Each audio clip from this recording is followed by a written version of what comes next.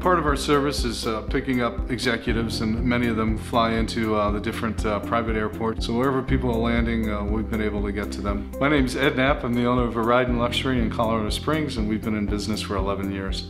On our corporate level, we've had an admin assistant say to me, out of all the transportation companies she deals with for her um, CEO nationwide, we're the most professional.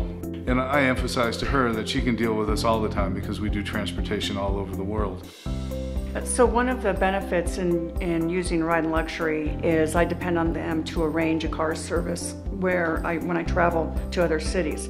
And uh, so whether it's New York City, Chicago, Dallas, LA, they've been able to arrange car service for me elsewhere. We have uh, connections throughout the world, so we can do what the big companies offer along with uh, being a small company and meeting uh, customized needs.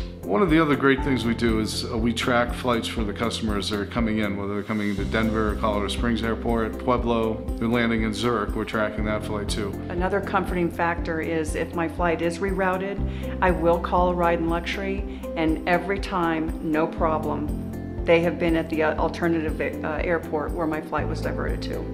Well, having live operators available all the time, you can get through to us. And we've gotten customers that have said the reason they've chose us because they were able to get a hold of us every time they called.